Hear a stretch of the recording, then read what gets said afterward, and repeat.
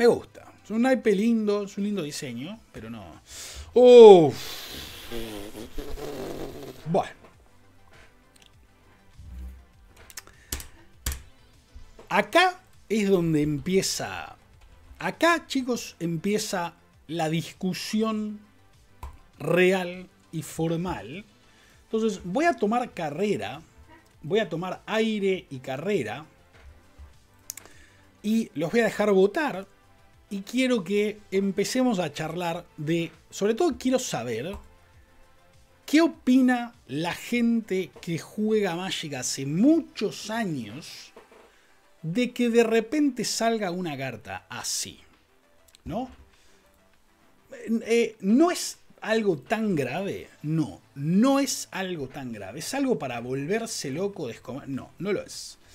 Pero esta carta marca puntualmente la rotura de una regla que se supone que hace rato, que como que... De cosas que se supone que como que están estructuradas en el juego y que no se deberían, como que asumimos que no se tocan, porque si empiezan a girar lo que los colores pueden hacer, es como que podemos llegar a esperar el próximo set puede salir un counter verde y al otro, el otro set puede salir un, no sé, ¿viste? Puede ser cualquier cosa. Entonces, para explicar básicamente por qué hacemos todo este quilombo, se supone que el color negro no puede tocar encantamientos. Los dos colores en el juego que no pueden tocar los encantamientos, que nunca pudieron interactuar con encantamientos, son el rojo y el negro. Claro, te van a sacar una firewall roja que gana vida. El rojo y el negro nunca pudieron interactuar contra encantamientos. Es como que es el espacio débil que vos sabés que puedes usar para atacar esos colores. Un set atrás, no hace mucho tiempo, no sé si fue el set anterior, no, el anterior me parece, sacaron un instantáneo de 3 mana negro que dice que una de las opciones era el oponente sacrifica un encantamiento, ¿no? Creo que lo sacaron en eh, enteros, ¿verdad? Fue enteros para darle una opción de removal al negro para poder hacer sacrificar eh, dioses, pero la carta obviamente, digamos, termina cumpliendo otros roles, ¿verdad? No es que solamente para matar dioses. Entonces ahí ya es, esa carta ya hizo un poco de ruido, porque, de nuevo, ahí fue la primera vez en la cual el negro pudo interactuar de alguna forma con encantamientos, pero dijimos, ok, bueno, lo están haciendo sacrificar, es como que le están buscando la vuelta desde ese lado, está bueno. Ahora, yo no creí que iban a sacar una carta tan lineal, directa en este sentido, ¿no? Esto es dos maná, conjuro, destruir la criatura o el encantamiento que controla un oponente, perdés vidas igual al coste de maná de esa carta. Dos maná es muy barato. Conjuro es medio pomo, sí, no vamos a decir que no. Las cartas que son conjuro para construido tienen que ser demasiado buenas para ser jugables, ¿no? Pero esto destruye criaturas y encantamientos. En este último estándar que jugamos, en los últimos tres meses de estándar que jugamos, cuando. No tres meses, ¿no? Pero el último tiempo, cuando ya Reclamation no estaba, ¿no? Cuando Reclamation se fue, Fires of Invention se fue, es como que los encantamientos fueron bajando en relevancia, ¿no? Pero donde hay un formato en el cual los encantamientos se juegan, se juegan, ¿no? Como exactamente los que nombré. Tener un removal de coste 2 que puede matar cualquier bicho y cualquier encantamiento es muy bueno. Es como mínimo una carta de Cyborg fantástica en lo que a flexible cuenta, ¿no? Cuando hablamos de flexible, uno, como los cyborgs de los mazos de Magic tienen 15 espacios nada más, lo que se suele hacer es jugar cartas ahí que cumplan la mayor cantidad de roles posibles, ¿no? Vos jugás cartas de Cyborg que te sirvan para la mayor cantidad de partidos posibles, ¿no? Por eso cartas como Aetragas, por ejemplo, son muy jugadas en los Cyborgs porque sirven para una cantidad de partidos enorme, ¿no? O por ejemplo, se juegan cartas como Wild que destruyen artefacto o encantamiento y en las situaciones en las cuales no te sirve puedes robar una carta, ¿no? Como que se busca la flexibilidad máxima. Este hechizo es un buen slot de Cyborg. O sea, ocupa muy bien un slot de Cyborg porque es un removal decente para algunos partidos. Quizá contra agro no es muy bueno porque es como que perdés vidas, pero por ahí no perdés tantas vidas. Y podés destruir encantamientos. Si fuera instantáneo, sería una carta increíble y se podría jugar de main deck en varios decks, porque sirven varios matchups. Siendo conjuro, probablemente no. Pero el tema es ese. ¿Les parece bien que empecemos a ver cartas de, de otros colores haciendo cosas? ¿no? Las cartas verdes, la carta negra haciendo cosas de carta verde y carta negra. La carta roja haciendo cosas de la carta azul y la carta blanca. ¿Está bueno? ¿O les parece que en realidad no deberían joder con los límites de lo que pueden hacer los colores? Porque esto es, como una temática, es una temática de la cual incluso yo recuerdo haber leído varios artículos al respecto a lo largo de los años, porque hay como, hay varios jugadores o escritores del juego o gente que le interesa el juego que todavía no termina, como que no termina de entender o de bancar la idea de que los colores no puedan hacer todo, ¿no?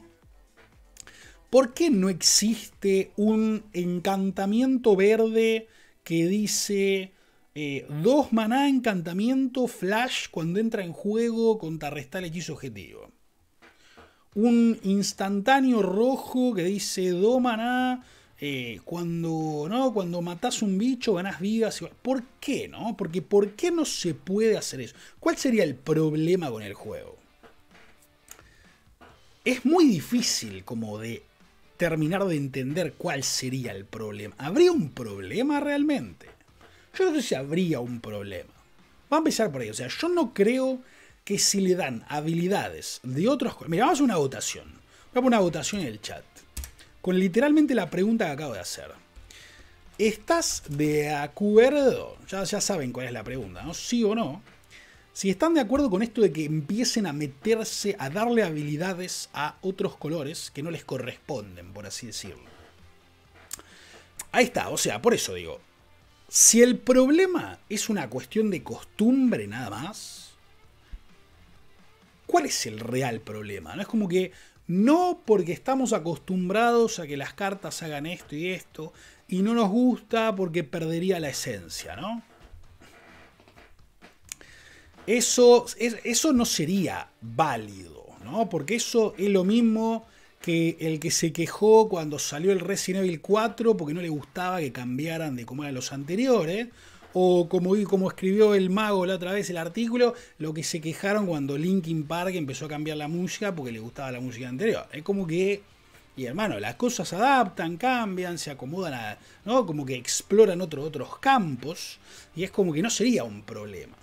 Pero ¿habría un problema en, a lo que a jugabilidad respecta? Si vos agarrás y le das habilidades a colores que no deberían tener, puede llegar a pasar que le des demasiadas herramientas a algo y que de repente vos decís, che, pero de repente ahora el negro no tiene ningún problema, porque puede matar esto, romper esto, hacer aquello, descartar, contrarrestar, ¿no? Como que ahí está el drama. Realmente les digo, es una discusión que me gustaría que siga esta, porque es muy difícil de desarrollar. Eh, los que no están en el Discord del canal, hagan comando Discord en el chat y súmense, porque estas son las, estas son las discusiones reales que empezás a salir en el Discord y te empezás a aprender. Estas son las que yo quiero, tipo, desarrollar, real. Casi que armo un canal solamente para charlar de esto, una locura. Eh, hay un canal de, de ruling, por ejemplo, que a usar ese para charlarlo, pero la verdad que en cualquiera.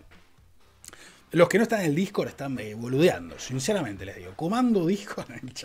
Eh, la verdad les digo, es. Eh, mira, por ejemplo, se le dice lore. El lore es por una cuestión de significado. O sea, es que. increíble, Cele, porque el otro día, cuando estaba. ¿Cuándo fue? Estaba preparando. ¿Qué estaba armando? No me acuerdo si estaba escribiendo una de las notas o estaba preparando unas cosas del stream. Y me aparece una imagen de y de, la, digamos, de lo que representa cada uno de los colores y lo que representan la combinación de colores, que dentro de todo es como que yo tengo entendido que la conozco, pero no la, no la había leído nunca tan gráfica y me pareció increíble, que después la voy a buscar para que la vean. que seguramente se abre en el, en el canal de ahora que está Net streameando. Imagino que todos los que están en la computadora tienen abierto en una pestaña aparte el stream de Wizards oficial que está haciendo Anet en español. Chicos, hay que apoyar la transmisión oficial de Wizards eh, en, español, que no todos los idiomas tienen una transmisión oficial, o por lo menos no todos los idiomas por fuera del inglés. Entonces, todos los que estén en la compu abran en una pestaña aparte el stream oficial de Wizards ahora que está Anet. Saluden ahí, hablen, hagan número, que es re importante para, la comunidad, digamos. Yo lo tengo abierto acá, no escribo nada porque no, no sé qué poner, pero lo tengo abierto igual, obviamente. Annette va a saber explicar todas esas cosas, pero yo me sorprendí cuando lo leí porque me pareció espectacular. Lo voy a buscar después y lo voy a... Miren, ahora, quizá lo podemos ver ahora. ¿Dónde está? Color Identity... A ver si lo puedo encontrar, porque era una imagen puntual y no estaban explicados todos los colores. Pero me pareció... Ah, no sé ni lo que puse para buscar esa imagen, además. No... Eh, me pareció hermoso eh, explicado, realmente. Mm. Es como que vieron que cada combinación de colores tiene como una identidad en la historia, digamos, por así decirlo. Pero estaba tan bien explicado. Lo voy a buscar, voy a buscar exactamente la imagen que, encontré la otra vez. Y por ahí mañana la, charlamos. Porque era tipo... Para ponerles un ejemplo, ¿no? Me acuerdo de memoria y decía, eh, por ejemplo, eh, verde, una de las características del color verde es eh, la vida importa, decía, ¿no? Verde, la vida importa. Negro, la vida no importa.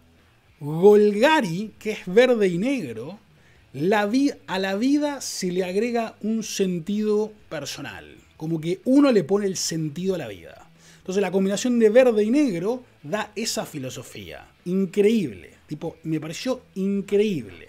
Cuando empecé a leer digo, wow, qué lógica que tiene todo esto espectacular. Pero espectacular, ¿eh? Y así, con todas las combinaciones de colores, daba como una identidad a las combinaciones de colores, pero buenísima, buenísima. Es como, por, o por ejemplo, eh, verde, la naturaleza es lo más importante, azul, la ciencia es lo más importante, combinación Simic, verde y azul, Igual, eh, la ciencia en función de la vida, evolución, pero, pero espectacular, ¿eh? Realmente espectacular. No. Porque aparte lo que tiene es que, como los colores están como en varias combinaciones, ¿no? Cada color tiene. Eh, forma parte de cuatro combinaciones de dos colores. Como que hay cuatro características puntuales de cada uno de los colores. Buenísimo. A ver si la encontraste ahí. A ver si es esa. A ver si es esta la que leí. No, bueno, está el artículo, está explicando esto en realidad. Pero no, está la imagen que vi donde estaba súper bien graficado, digamos. Creo, por lo menos este artículo está, es enorme, sinceramente. Después, después lo voy a buscar y lo voy a, lo voy a organizar bien prolijo en la pantalla para que lo podamos ver. Bueno, terminando con esta charla, esto de lo que voy, se nos fue mal todo esto acá. Gracias, Curo, por ese sub ahí. Gracias por esa suba ahí, level 1. Gracias por el apoyo. ¿Cómo va? Tengo la música de la notificación desactivada para que no nos corte la charla, pero estaría sonando acá todo el temazo. Gracias por ese sub. ¿Cómo va eso? Em, para terminar con esta discusión que se nos fue súper de lugar, a lo que iba con esto es que si el problema, si el problema realmente sería una cuestión de flavor nada más, quizá no sería tan grave, ¿no? Porque una cuestión es uno se adapta y punto. Pero si hay un problema de jugabilidad, ahí es donde como que es incluso hasta difícil de saber si hay un problema de jugabilidad. No nos vamos a enterar hasta que empiecen a toquetear las cosas, ¿no? Sí, la música, va, a sonar después, después la voy a hablar, obviamente, pero en la charla es como que nos cortaba todo. Gracias, ¿no? ¿Cómo va? Eh, Después los voy a acomodar en la pantalla para que tengamos un stream donde charlemos un poco de todo eso. Sé que el lore y todas esas cosas no son nuestra especialidad, pero me parece tan interesante realmente que por ahí vale la pena verlo, porque me pareció, eh, pero súper, aparte con una lógica como, claro, este color hace esto, esto, buenísimo. Bueno, vamos a seguir porque nos retrabamos con esta carta, pero la verdad que me parecía bastante importante desarrollar la, charla desde acá. Uh, uh, uh, bueno, este naipe, ¿se acuerdan que como que se había filtrado técnicamente hace un tiempo? Pasa que no sabíamos si era oficial o no, ¿no? esta carta se había filtrado hace un tiempo. Y no sabíamos si era legal o no, si iba a ser de en serio esto, pero acá apareció.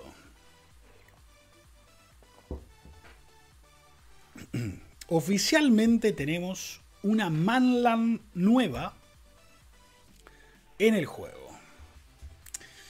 Es una Manland que entra enderezada. Nada mal. Una Manland que entra enderezada. No todas las Manlands entran enderezadas. Las que agregan incoloro por lo general lo hacen, ¿no? Como la Mobilized District que tenemos ahora en estándar. Esta también. Y agrega un incoloro o por 4 dice, ponele dos contadores más uno más uno. Y después podés hacer que se convierta en un elemental 0-0 hasta el final del turno, que es una tierra. Clave la pregunta de Crane ahí, y así es, hermano, los contadores se acumulan. Eso significa que, primero, mira, clave tirano, ahí muy bien leyendo la carta, porque hay una razón por la cual traemos esta carta de nuevo, porque no la habíamos analizado, y esta carta tiene muchas cosas muy buenas. Primero que se acumula. Cada vez que actives vas a poder poner dos contadores. Significa que la primera vez que la quieras usar va a ser una 2-2 y después puede ser una 4-4 y así. Pero hay una característica clave en esta tierra que no es el hecho de que crezca nada más, sino que el hecho de que no se transforma siempre que la activas. Clave, absolutamente clave. 4 maná, pones dos contadores en la tierra. Después podés hacer que esta tierra se convierta en una criatura hasta el final del turno. ¿Eso qué significa? Que si yo, bueno, final del turno, pago 4, pongo dos contadores acá. Pago 4, dos contadores acá. No es dicho. No la expongo. Paso, 4, pum, pum, Activé 5 veces después, pego, es una 10-10. Pero no la expuse antes, ¿no? Le puedo ir cargando contadores y activarla cuando quiero. Es una tierra, es, no es una win condition por sí sola, pero es muy bueno, muy bueno. Otra vez, no, no perdiste nada, no, es que te rompieron y perdiste, nadie perdió de nada, porque tienen que pensar este tipo de cartas como cosas extra, extra. Vamos a poner el ejemplo, el mejor ejemplo que hay en estándar en este momento, creo yo, que es Blast Zone. Después de haber jugado con Blast Zone en estándar, hoy, ¿a alguien le parece que Blast Zone es muy cara de activar? ¿A alguien le parece, che, Blast Zone una porquería, ¿eh? Cuesta todo un turno para poner un contador, dos contadores. Después, si quieres romper algo más caro, tenés que tirar otra vez. Y después tenés que pagar tres y girarla y romper. ¿A alguien le parece que Blason termina siendo un pomo?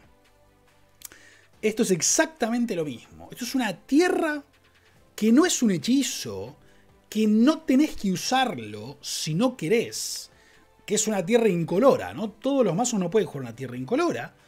Pero es una tierra, está ahí dando vuelta, ¿no? Y es una opción que tenés dando vuelta. Es una opción que podés tirar, invertir mana en esta tierra si querés y se convierte en una amenaza.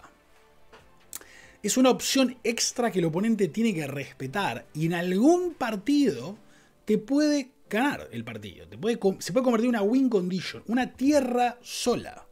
Es buenísima buenísima. De nuevo, no todas las bases de maná bancan una tierra incolora, lo es, es una realidad, pero es buenísima. Buenísima, me encanta el hecho de que no se tenga que transformar necesariamente para poner los contadores, eso la pone como bastante por encima. Entra enderezada, es 4 maná, no es 4 maná y girar, significa que cuesta exactamente 4 maná poner los contadores. Puedes girar esta misma tierra para poner los contadores linda. Es esta, esta, esta tierra me parece mejor que el distrito que tenemos ahora. Más allá que el distrito puede, activarse por menos maná y demás, esta tierra está un paso, está un paso por arriba, me parece. Muy buena EP, muy buena tierra. Bueno, ¿qué más tenemos por acá? Uh, ¿Volvió? Vuelve, se vuelve. Ah, sí, no sabía. Mira vos, mi hermano. No sabía eso, ¿eh? Que era... Mira vos. Bueno, eh, vuelve... Es genial porque eh, este efecto ha estado en estándar alguna vez antes. Si no me equivoco, la última carta en estándar que tuvo este efecto de que las tierras no básicas del oponente entran giradas era la Talía de 3 maná. Hay una Talía que es 3 maná, 3-2, daña primero. Legendaria que decía las tierras no básicas del oponente eh, entran en juego giradas. Que parece no, o sea, no sé si a alguien le puede llegar a sonar que por ahí no es tan grave. ¿eh? Esta es una 3 maná 2-3 vuela, ¿no? Que el cuerpo por ahí es un poco débil, es una 2-3 vuela, medio pomo, no ataca por mucho. Tipo de criatura arconte, por lo que es absolutamente irrelevante. Dice que cada jugador no puede castear más de un hechizo por turno, que puede servir también en algún partido. Pero ojo porque la habilidad de que las tierras del oponente entran giradas y no son básicas es mucho más fuerte de lo que parece. Realmente lo es. Es como, dependiendo del partido, puede llegar a representar un tax como el tax que pone la talía de dos maná para hechizos no criatura. Porque si efectivamente el oponente no puede jugar ninguna de sus tierras enderezadas, es como si todo le costara un maná más. Este tipo de efectos no es bueno en todos los partidos, pero en algunos partidos, sobre todo, porque vamos a decir, sobre todo de Cyborg, en los partidos en los cuales vos sabés que arrancás vos, ¿no? Ok, ahora voy John de Play. Pumba, cuatro arcontes de media. Turno 1 bicho, turno 2 bicho, turno 3 arconte, y de repente la mano del oponente es como que lo timewalkeaste al oponente completamente. Porque las tierras no le entran enderezadas. No es para todos los partidos, no es para todos los metagames. Hay muchos metagames en los cuales hay un montón de mazos que juegan un montón de básicas, que puede pasar también. Si vamos a jugar eh, formatos con cuatro Fallet Passage, tiene que haber un montón de básicas para buscar. Todos los que jueguen eh, todos los mazos que jueguen Cultivate van a tener que jugar un montón de tierras básicas también. Entonces no es que eh, nadie va a tener básicas, ¿no? Y en algunos partidos esto no hace absolutamente nada. Porque si estás jugando contra Monored, esto no hace nada. Si estás jugando. Se entiende. Que tampoco es que no hace nada, ¿no? Porque dice que no se puede jugar más de un hechizo por turno y eso algo es. Pero es una 3 mana 2-3 nada para estar emocionado, realmente, chico, nada para, nada para, para descorchar champán y, ¿no? Pero es como que, ojo, porque estos efectos son los que pasa después, que, viste, te llega el mensaje, viste, te, llega el mensaje de tu amigo ahí, tu amiga, que dice, ¿sabes lo que me pasó? Me jugaron este bicho, ¿puedes creer que hijo de su madre me cybordeó esto? Y perdí, no jugué el partido, porque todas las tierras me entraron girada, y como un boludo jugué las dos básicas al principio para jugar algo, y después no me quedé... Pasa, pasa, esa historia ya ha sido contada y puede volver a ser contada. De nuevo, pega 2 nada más, no pega 40, pero me gusta que estas cartas existan, porque estas cartas generan las historias de, ¿no? El que se queja que, le tiene que responder, ¿de qué te quejas? ¿De qué te quejas? Jodete. O sea, ¿quién ¿no sabías que esa carta existe? Sí. Oh, mirá cómo... Bueno, tremendo. Está muy bueno. Bueno, Opa, ahí está, grande, Ticho, hermano. Porque esta sí que la iba a tener que leer. Creo que la puedo hacer de memoria, porque esta carta sí la leí, pero la voy a leer igual.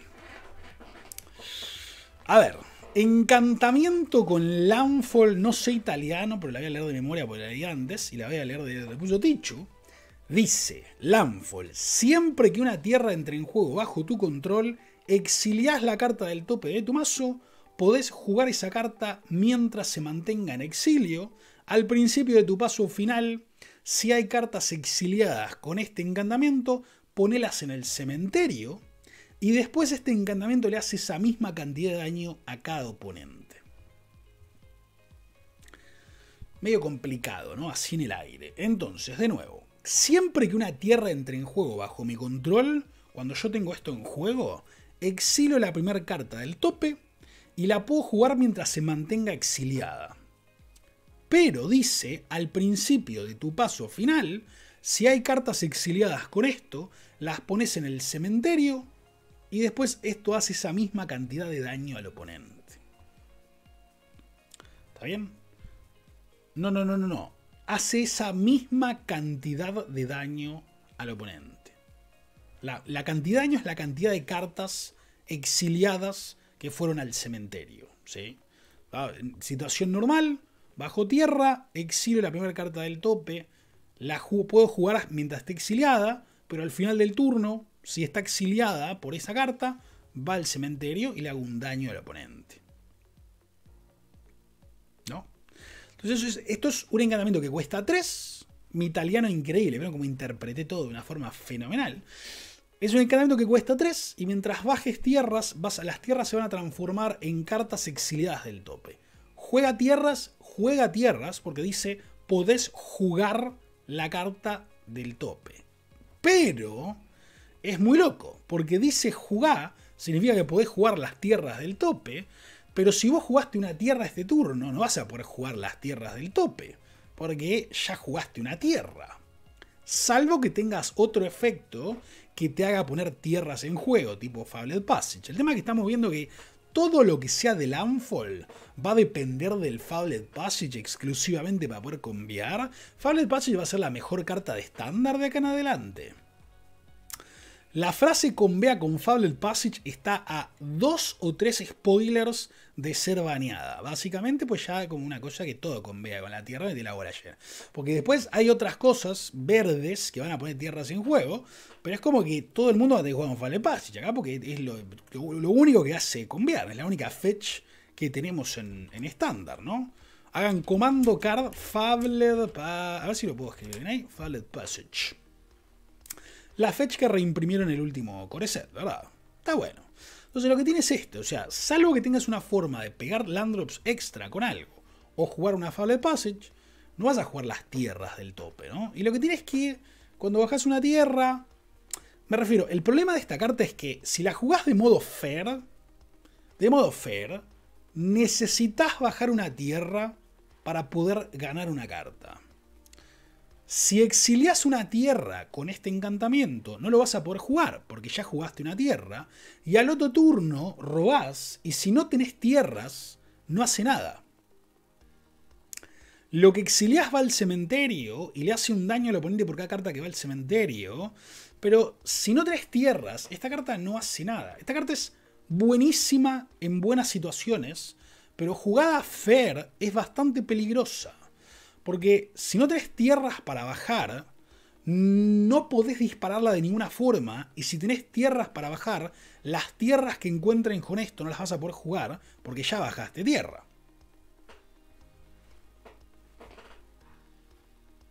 Cuesta 3. Costar 3 es bastante barato y además de darte cartas extra le hace daño al oponente, eso está bastante bueno. Pero no va a ser, no es un frenesí para cualquier mazo, ¿sí? no es una cita del de tres maná, no es nada de eso. Es una buena carta, pero que requiere que, ¿no? Cuando la uses, tipo, ojo, ¿no? Cuidado. Sí, con Bea con, con, con Qué cara dura, Adrián, por favor. Eh, con Bea con Me descompongo. Es, es un combo en una carta. ¿Qué convea con skate? Todo convea con skate. Eso joda. ¿Cómo convea con.? Convea con Lotus Cobra. ¿Qué convea con Lotus Cobra, chicos? ¿Cómo convea con Lotus? ¿Me está Lotus Cobra dice cuando juegas una día, todo lo que todo lo que tiene Landfall convea con todo lo que tiene Landfall. Estamos todos locos. Me gusta la carta, me gusta el diseño, me gusta el diseño, pero ojo porque no es cualquier carta de Cyber para algún mazo donde quiero robar más cartas después, ¿no? Es como que, ojo, ojo, porque no es tan fantástica. alguien le va a poder sacar mucho jugo, sí, seguramente, pero no es tan genial. Hablando de genial. Hablando de genialidades. Oh, I'm sorry. I was just busy playing Magic the Gathering Arena on a mobile. Hablando de todas esas cosas. Y esto. Bueno. Bueno.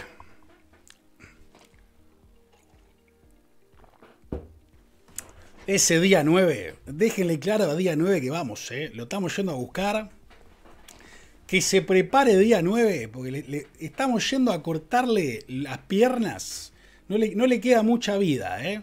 Próximo, próximo tráiler de, cuando salga el tráiler del set de vikingos, nos van a llamar a nosotros para hacer el tráiler. No va a salir día 9. Día 9 sale, sale ahí medio boludeando. Yo no sé quién le dijo que, que le creemos el papel, pero no se lo creemos. Cuando salga el de vikingos, la van a llamar a la señorita escudo y nos van a llamar a nosotros. Vamos a hacer una guerra ahí tipo escudo-espada para presentar el set. Déjame joder. Bueno. A ver, porque el que no vio esta carta, ya les digo de entrada, voten que sí, no importa la leen después, ¿sí? Este es un naipe fantástico. Aparte que el arte es espectacular, ¿no? Espectacular. Tiene más... Eh, miren esto. 2 maná, 2-1. Cuando entra en juego, copia el siguiente instantáneo conjuro de coste 2 o menos que castees este turno cuando lo castees. ¿Sí? El próximo instantáneo conjuro de coste 2 que castees este turno, lo copias. Si quiqueaste a la Seagate Stormcaller, por 5 más, o sea, si la bajaste por 7, copias dos veces. Buenísima me. Buenísimo. No da, mi hermano, ya estás entrando en esa mentalidad. Hay que romper con esa mentalidad. Vamos todos juntos. El kicker, el kicker es un plus que nunca lo tenés que pensar como si fuera una... Tenés que pensarlo como dos caras de una moneda que son dos alternativas para dos escenarios diferentes. Esta carta, cuando tenés cuatro maná y tenés un Lightning Strike en la mano, es un Lightning Strike y un 2 maná 2-1 que cuando entra se Lightning Strike. Pero puede ser un 3 maná 2-1 que cuando entra hace 2 opts, ¿no? Tipo opt y 2 maná 2-1 opt. O puede ser 2 maná 2, 2 maná 2-1 que cuando entra te da otra cosa. Hechizo de coste 2 o menos. Es buenísimo porque es muy flexible en lo que lo podés usar, obviamente. Mira, es un 3 maná, Thought Size y una 2-1 que hace Thought Size. Buenísimo. ¿Por qué buenísimo? Porque te deja un cuerpo ahí. Es el plus de un bichito que te da un hechizo gratis. Es buenísimo. Ahora, es muy probable que el mazo que use esta 2-1 y hechizos baratitos, por ahí no sé cuándo va a llegar a tener 8 maná o 9 maná para quiquear esto y copiar, ¿no? Pero la carta no necesita esa opción, ¿no? La carta de base es fantástica y el hecho de que encima, si estás jugando un partido en el ultra, ultra late game, te guardas esto en la mano y robás un hechizo que hace 3 daños y haces pumba, 9 daños. Ejemplo, ejemplo, ¿no? Claro, no necesitas quiquearla, es un extra. La carta es decente al principio, porque te va a dar un hechicito gratis, y una carta decente en el ultra late game para esos pocos partidos en los cuales llegues va a representar real ventaja de cartas, si querés. no puede tener flash, chicos. Si tuviera flash, estaría demente. Estaríamos hablando del regreso del Snapcaster con Kicker y sería una real ridiculez. Por eso que tampoco es necesario agregarles habilidades exóticas a las cartas, ¿no? Pues estamos de acuerdo. ¿Qué onda, hermano? ¿Cómo va eso ahí? Eh, no tiene que tener flash el naipe, está bárbaro. Por eso digo que hay que pensar las cartas con Kicker como alternativas. Cartas buenas al principio y cartas buenas después, cuando ya está todo súper armado, que tengo un partido estirado, mil landrops, ¿no? Está todo, pumba. Mira, esta carta que era buena en turno 3, que era buena en turno 4, es mejor en turno 10. No llego a turno 10 todos los partidos. No. Pero si la carta es decente al principio y encima es un drop 2 que es bueno, incluso mejor más adelante, cumple, aprueba, ¿no? Pasa, fantástico. ¿Qué quieren que les diga? O sea, Kicker como mecánica para mí es una barbaridad de genial, de genial, y no hay cartas con Kicker que me parezca que sean malas. Hay cartas como que no son geniales, pero Kicker como mecánica hace todo mejor en el juego. Es impresionante, realmente. De hecho, o sea, estoy emocionado hasta, hasta por jugar con Jacinto. Estoy emocionado, ¿no? Que como que no, ¿no? Que siempre discutimos ahí, discutimos el broque, el bosque, la isla. Y yo estoy emocionado por jugar con Jacinto también, yo, hermano. Puede ser que esté emocionado. Me permite ahí, porque realmente quiero jugar con Jacinto. Es una locura. 3 maná. 5 maná, Planeswalker. Divino. Pobre Jairo ahí, ¿qué pasó? ¿Podemos estar todos emocionados por jugar con Jacinto? Incluso los magos verdes también.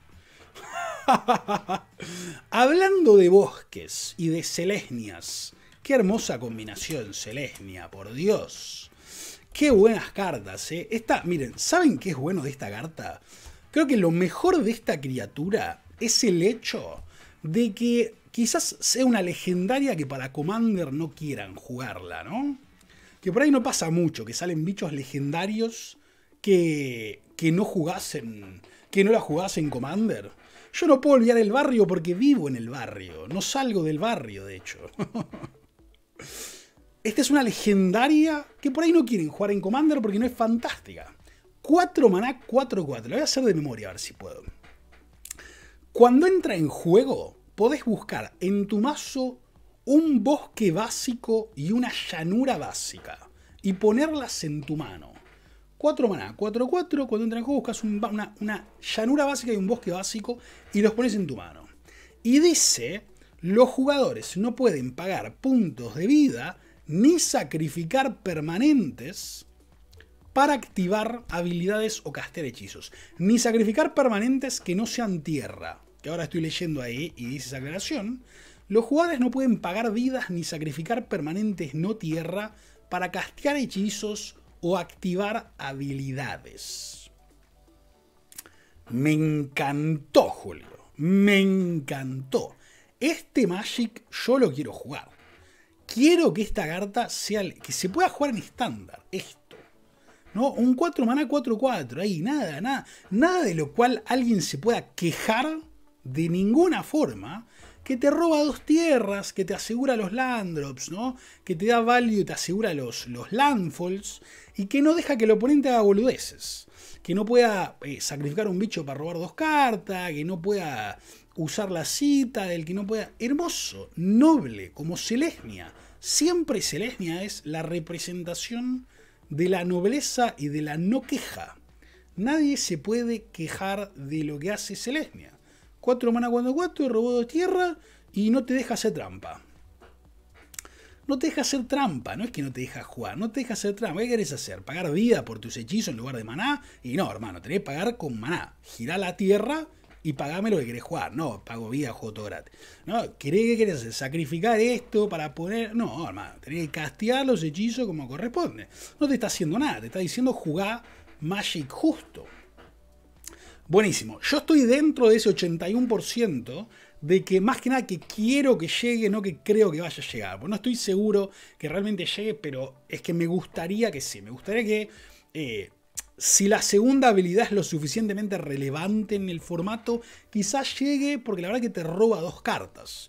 O sea, inevitablemente estamos hablando de un 4 maná 4-4 que te roba dos cartas. Y eso es muy bueno. Son dos básicas, sí, pero bueno, roba dos cartas. Te asegura los landrops, no está, no está nada mal. Yo creo que esta carta puede llegar tranquilamente. El tema es que hay que ver, hay que hacer un mazo que la quiera jugar. Ese es el tema. No, hay que ponerse a armar el mazo que quiere jugar el chancho ese. Y hay que elaborarlo ahí. Bueno, opa, lindo naipe también. Lindo cartón. Se viene. ¿Será que se puede? ¿Podemos tener un universo en el cual los mazos ramp no jueguen uro y jueguen otros colores? ¿Existe esa dimensión paralela en la cual rampeamos sin jugar a Zulaga. Estaría buenísimo, realmente. No sé si va a existir, sobre todo porque el, plus de esta carta es como medio exótico. Pero me encantaría. 4 maná 4-4. Hay 4 maná 4-4. Hay muchos 4 en esta carta, pero no, no es 4-4. 4 maná kicker por 4 ya después de las horas empieza. Busca en tu mazo dos tierras básicas y poner en juego giradas. Y después mezcla tu mazo. Y si quiqueaste, dos contadores más uno más uno en cada bicho que controlas. Entonces, obviamente la pregunta que se va a hacer todo el mundo es, pero, o sea, si yo estoy jugando ramp, no tengo bichitos dando vuelta. ¿Para qué quiero rampear y poner contadores en criaturas? Entonces, el mazo que quiera jugar, ¿no? Vegetación explosiva, que es 4 maná, busca dos tierras, pues en juego girada. El mazo que quiera jugar esa carta probablemente juegue esta en su lugar, ¿no? Porque el kicker es un plus. No importa si el plus no lo vas a usar nunca. El mazo que quiera jugar 4 maná, busca dos tierras y pone en juego girada para rampear de 4 a 7, lo va a jugar igual. Si hay algún deck que puede jugar esto y rampear algo que ponga bichitos encima, esto es bueno en el early mid game y una carta fantástica para jugar más tarde también. Es una combinación de efectos que no se suele ver en una misma carta, pues como que se suele pisar, ¿no? Rampear y contadores. Felos de Dead, qué buena, qué buen ejemplo. Qué suerte que no, no es un ejemplo, ¿no? Pero es un buen ejemplo, solo que por suerte no puede ser de todo. Mirá, Yolrael y sus gatos. No está mal. Yolrael, esto no roba carta, pero la habilidad activada de Yolrael va bien cuando tenés varios bichitos, contadores en todos los bichitos. Está bueno, me gusta, puede ser. Es un buen diseño también. Es como que es una carta que por ahí llevan a sacar de todas formas. Che, tenemos que sacar la carta de 4 más que busca dos tierras. Tenemos que ponerle un kicker para que tenga que ver con el set. ¿Qué podemos hacer? dos contadores más uno más uno. Que le busquen la vuelta a ver cómo lo usan. Pero, eh, de nuevo, es una carta que va a cumplir temprano y tiene la opción de darte un plus más adelante. No, no.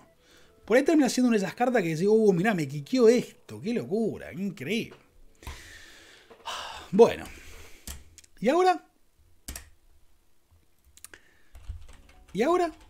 Acá los todos experimentados todos experimentados, me van a ayudar a recordar cómo se llamaba, porque tengo entendido que hace mucho tiempo ya existe una carta que hace exactamente lo mismo que esta, pero tenía otro nombre. Esta no es exactamente la misma, ¿no? Harrow, ahí está. Harrow.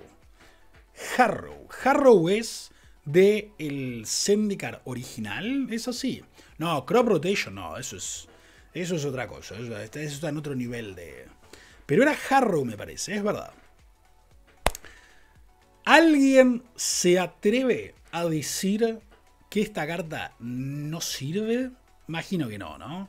Quiero ver ese 100% de votos que sí ahí. Lo que están votando que no, están boludeando, chicos, no me jodan, están votando ahí para romper la bola. Porque esto es muy bueno, muy bueno. Además, además, algo, un detalle para la gente que jugó con la versión anterior de este tipo de hechizo, si no recuerdo mal, los hechizos anteriores de este tipo decían, como coste adicional para castear esta carta, sacrificar una tierra busca dos tierras y las giradas. Y acá, el sacrificar una tierra es parte de la resolución, no es un coste extra que tenés que pagar para castear la carta. Que eso la hace muy diferente, porque si vos tuvieras que hacer instantáneo, sacrifica una tierra, busca dos tierras, como coste adicional para castear esto, sacrifica una tierra, busca dos tierras, y tu oponente te contrarresta este hechizo, habrías pagado este hechizo y una tierra, sería imposible. Pero acá sacrificar la tierra es parte de la resolución, que está espectacular. Tres mana instantáneo, sacrificar una tierra, buscar dos básicas y poner en juego girada. Estamos hablando de un hechizo que rampea, que no rampea genialmente bien porque estás pagando tres maná para agregar un mana extra, nada más. Pero es una carta que rampea y te da doble trigger de Landfall como instantáneo. ¿No? Doble. Ah, mirá, Harrow pone las tierras enderezadas. Brutal. No me acordaba eso.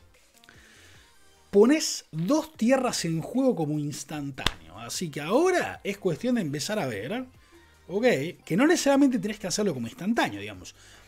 Probablemente si la carta se juega, que se va a jugar, va a haber un montón de instancias en las cuales la vas a hacer como conjuro para aprovechar, no sé, los triggers de la Lotus Cobra en tu turno para poder jugar otra cosa, ¿no? Haces tierra. Piénsenlo de esta manera. Hacemos Lotus Cobra, turno 2. Turno 3, tierra, un maná para la Lotus Cobra. Juego esto, busco dos tierras más y de repente jugué este hechizo gratis. Porque si tenía la Lotus Cobra en juego en turno 2, bajé la tierra del turno y busqué dos tierras más y tengo tres maná flotando otra vez para castear otra cosa. Y si casteo otro de estos, tengo dos maná para jugar otra cosa. Lindo, lindo cartón. Para el nuevo Omnat, divino. Una lástima que el Omnat no... no después de la tercera vez ya no dispara más, ¿no? Estaría buenísimo que dispare la cuarta, la quinta, pum, pum, pum, cuatro, cuatro, cuatro. Que no es así. Pero me gusta me gusta. Contadores de lealtad a la Nisa, divino. Qué linda la Nisa, ¿no? Tuki, contador, suma, suma, suma, suma, revivo, pim, pum. Lindo. Roiling Regrowth, carta que se va a jugar en estándar sí o sí, mientras haya efectos de landfall útiles, que los hay, y eso que no salió todo el set todavía, se va a jugar sí o sí espectacular. Te llena el cementerio además, te pone, no, entra el instantáneo, te pone una tierra extra en el cementerio, te ayuda a traer el uro más rápido, no es que estemos felices porque haya alguien que esté ayudando Uro, ¿no? Pues a esta altura ya Uro, la verdad que no necesita más ayuda de nada, pero incluso tiene, tiene ese value. Em, vale igual que la aventura del gigante, sí, pero es como que, ¿no? Estamos hablando que pone dos tierras en juego. Es un, es, un hechizo que está pensado pura y exclusivamente para abusar del Landfall, ¿no? Incluso fíjense que busca tierras básicas, ¿no? Porque tiene que tener tierras básicas para buscar, pero eh, está pensado para usar Landfall, 100%. Qué grande, Ticho, hermano, yo iba a buscarlo porque esto está creo que en ruso, no sé qué, no lo puedo. Em, criatura 2 maná 2-2. Este está lindo también, ¿eh? El primer hechizo quiqueado que castees cada turno te cuesta uno menos ni siquiera dice el Pol, porque la verdad que este bicho me parece que vale la pena preguntar, ¿eh? Siempre que castees un hechizo quiqueado, pones un contador más uno más uno. Haga. Soy de Lomas, ¿qué tiene que ver eso? Dos maná, dos, dos. El primer hechizo quiqueado que castees cuesta uno menos. Siempre que castees un hechizo quiqueado, pones un contador más uno más uno acá. Mi ruso, un nivel de ruso increíble. Entonces, estamos hablando de un 2 maná 2-2. Que si tu mazo está dedicado a quiquear cosas, estaría agregando un maná todos los turnos, ¿no? Incluso si vas a quiquear un hechizo en tu turno y uno del oponente, te puede agregar dos maná por, ciclo de turno. Además de que crece. Yo no sé por qué no lo veo. Eh, no lo veo realmente fuera de posibilidad, ¿eh? Porque El problema va a ser ver si el mazo con kickers tiene ganas de jugar una 2 maná 2-2 que te puede agregar maná, pero que no es un muy buen top deck, y es como que no, quizás la verdad que no vale la pena, pero la verdad que yo lo veo como lo veo como una posibilidad real, ¿eh? Este bicho te da la posibilidad de, no sé, jugarlo en turno 2, quiquear un Into the Royal en turno 3 y que esto sea 3-3 y jugar un Chase quiqueado turno 4 y tener un 4-4 con los dos Planeswalkers. Incluso va a haber otras cartas con Kicker también, ¿no? O sea, no es que yo lo veo realmente bien. Acuérdense que tiene que ser, para que te reduzca el coste, tenés que estar quiqueando el hechizo.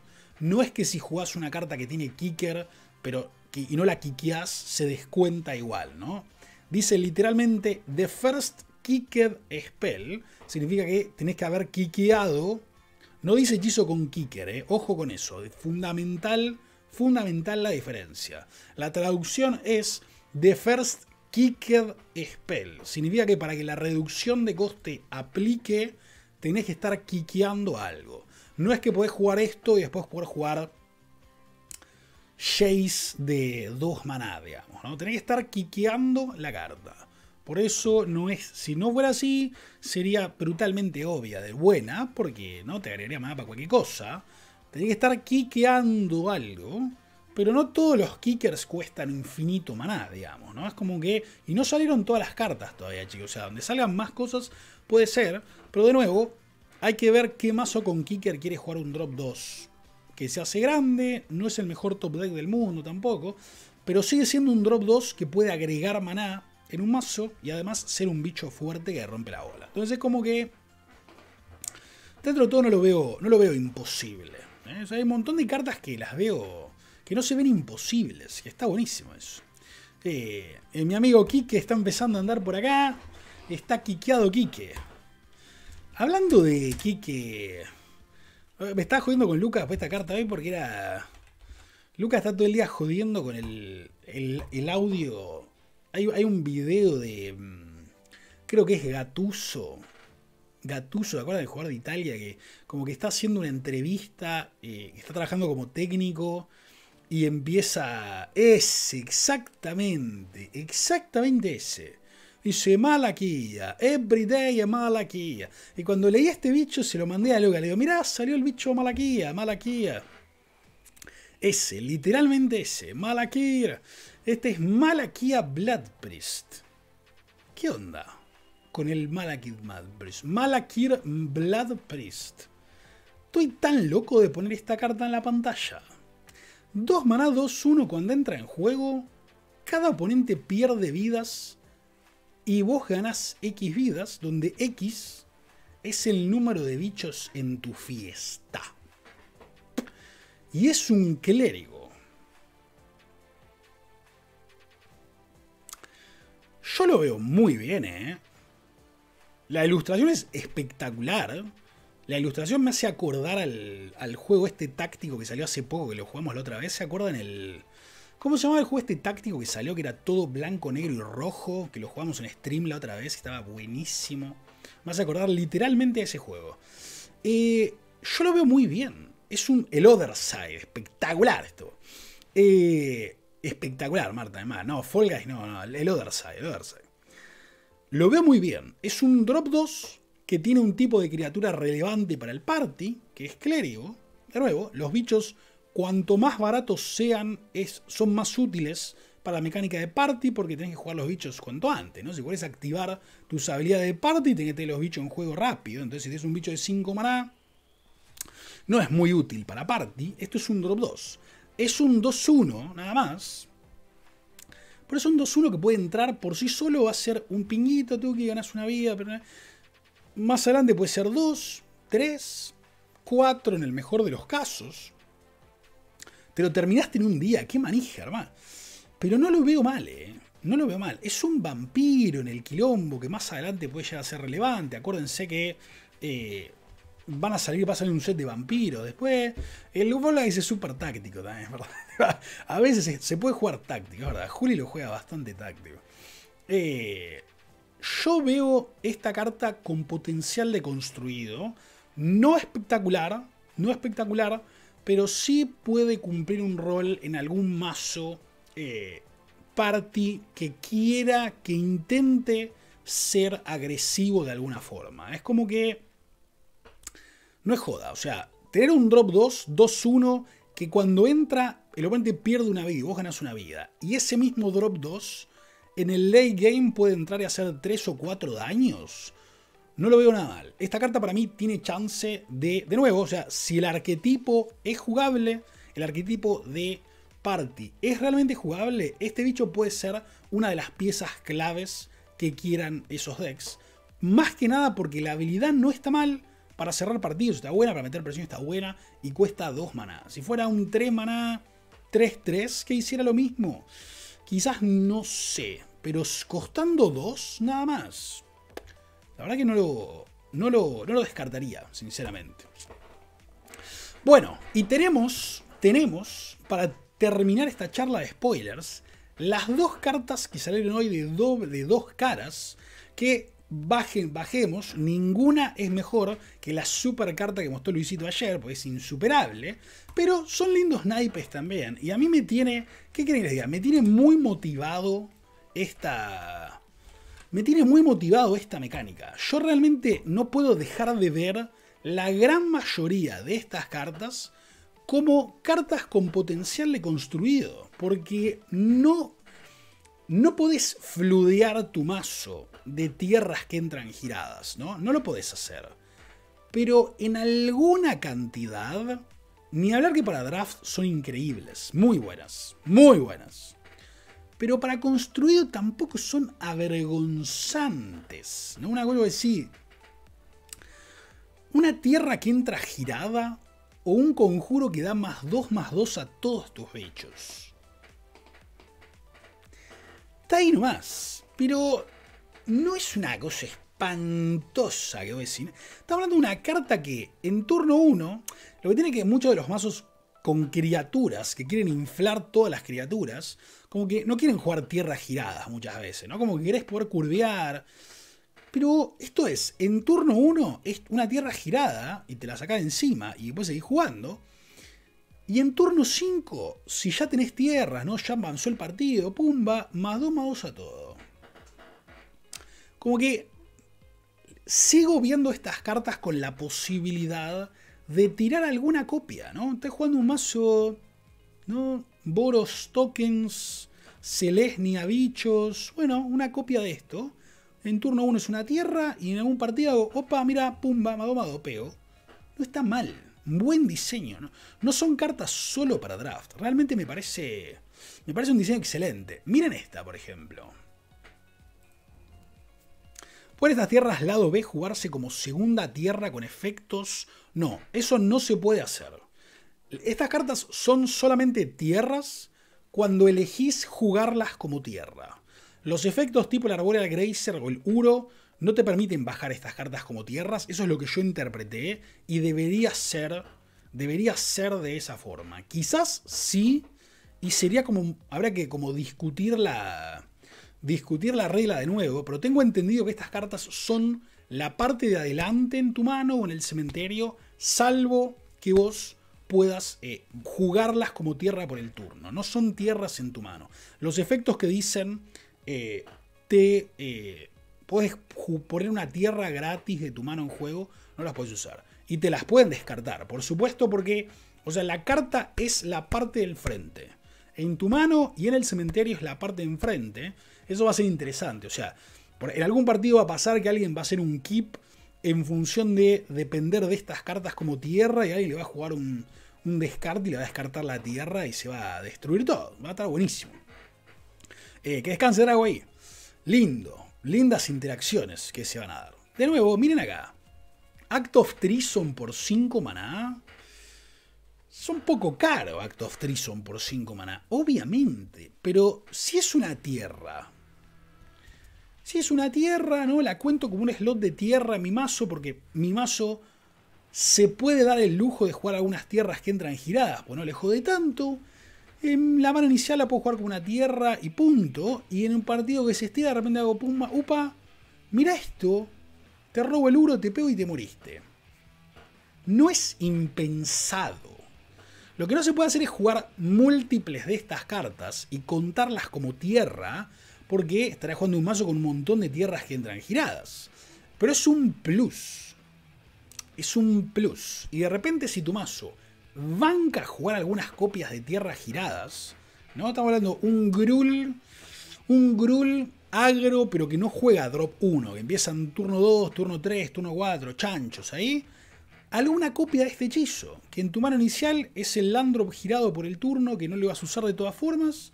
Y en turno 6, upa, mirá, Tuki, porque nadie va a jugar alrededor de esto. Tuki, pumba, se el partido. Hermoso. Hermoso, ¿eh? Me encanta. El diseño de estas cartas es, pero espectacular. Espectacular.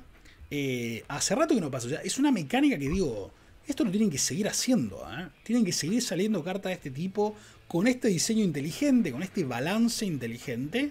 Pero tienen que seguir saliendo cartas de este tipo porque está, está muy, pero muy bien. ¿eh? Aparte de que tiene que ver con el set en general, con Landfall, con todo para el juego directamente, me parece que es una muy buena forma de, simplificar, de hacer que la gente le tenga un poco menos de, de miedo al juego, que haya menos problemas, menos quejas con las manos. Es, eh, hace que los partidos no, no, no, se definan tanto por flu, por screw. No es que lo va a arreglar el problema, pero es una mecánica que tiene potencial de hacer eso tranquilamente.